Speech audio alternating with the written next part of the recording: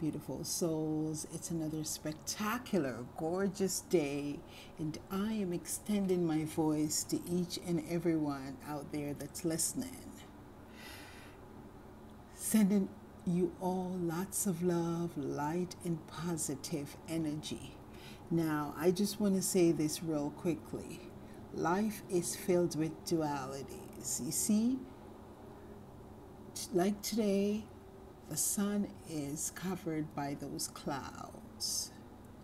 So that's the same way life is. It's filled with dualities, meaning not every moment is going to be peaches and cream, or not every moment we're going to be happy.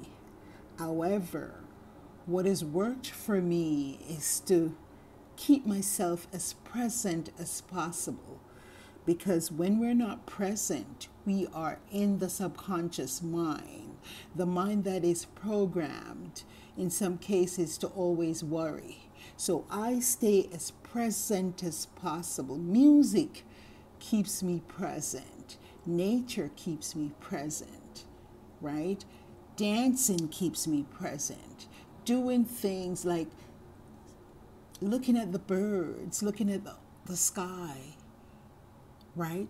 Those things keeps me present. So stay as present as you can and try to reprogram that subconscious mind that's always in fear and worry.